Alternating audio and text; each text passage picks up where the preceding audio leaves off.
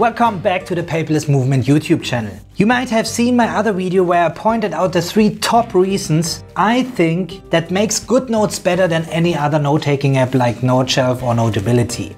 In this video we will point out the three reasons why I don't think GoodNotes is better than Noteshelf or Notability and the features they actually offer and GoodNotes doesn't have included yet or should improve. So what those are, let's find out right now.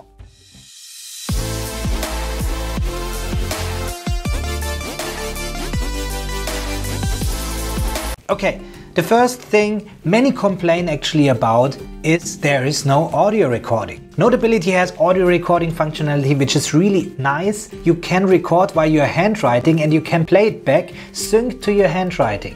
So this means you see while you're listening to your audio what you have written in just this moment. Noteshelf also has audio recording and in addition you can also use your Apple Watch to record audio. So this makes it really special for Noteshelf because so far it's the only handwriting note-taking app that supports Apple Watch input. And GoodNotes has no audio recording yet. It might be no problem for many people out there, but if you need to record audio during meetings or sessions or lessons, First, make sure that everybody knows that you're recording the audio, very important. And second, GoodNotes is not for you. I don't know if they want to implement it, they are looking into this, they made surveys about this, but it seems not enough people need this feature, so that's the reason why they left it out. Second reason why I think Noteshelf is actually the best note-taking app in this case is if you import a digital journal. If you own the digital journal that I'm selling here, which is this one, you have a lot of hyperlinks in there that makes it easy for navigation. So you gently can just tap on these buttons. But you see, I'm tapping, it's not working. Even when I'm using my Apple Pencil and I tap on this, it's not working. So once I tap, you see it even writes on these buttons, nothing happens. And many of you reached out to me asking, oh, your digital journal is not working in there. Well, that's if you're using it in GoodNotes, because in GoodNotes you have to go to the top right, press this button and you go into the tapping mode.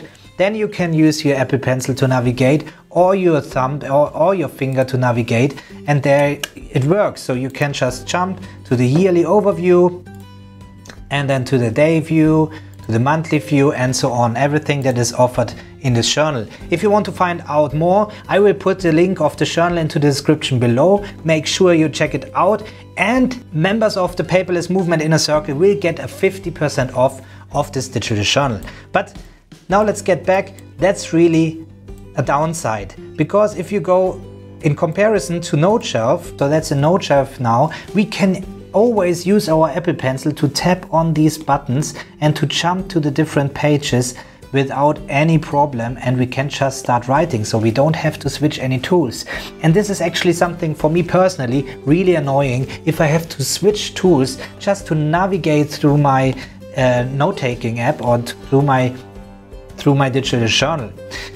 Notability is no option either because here if you tap on something it's not working so you can use your Apple Pencil tap on it. So it's not working with the finger, only with the Apple Pencil. And then you get a preview. So this means I have to click twice. It's still better than using GoodNotes. It's still faster. You're getting a preview and you have to tap twice. In my opinion, Noteshelf is much more convenient using a digital journal in there. And reason number three why I think GoodNotes should do a better job there to compete with apps like Noteshelf, especially in this case, is bookmarks and tagging. Um, maybe some of you say, oh, well, I have bookmarks in here, so you can bookmark your pages there.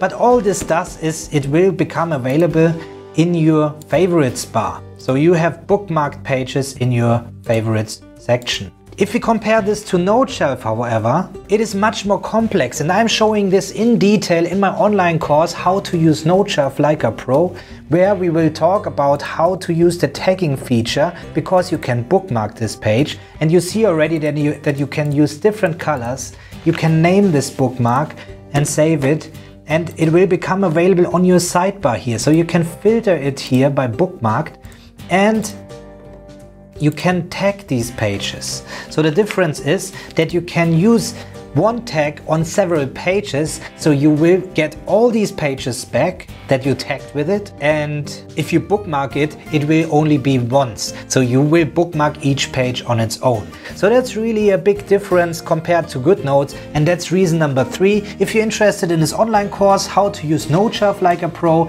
it is for free for the Paperless Movement Inner Circle members. Just go over and check it out if you need any help with Noteshelf. So those are my three reasons why I think Noteshelf is doing a better job. Of course, there are advantages of good GoodNotes. I made another video about this. As I said in the beginning, just go over and check it out. Um, what are my three reasons why good GoodNotes is better than Noteshelf for Notability? If you like this video, give it a thumbs up, share it with your friends and subscribe to this channel if you haven't already. And I will catch you up next time or in the inner circle.